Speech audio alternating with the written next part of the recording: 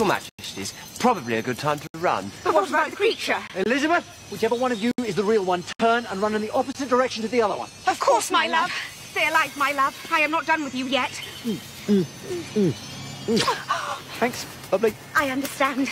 Live for me, my darling. We shall be together again. Well, wouldn't that be nice? One of those was a Zygon. Yeah. Big red rubbery thing covered in suckers. Yeah. Venom sacs in the tongue. Yeah, I'm getting the point, thank you.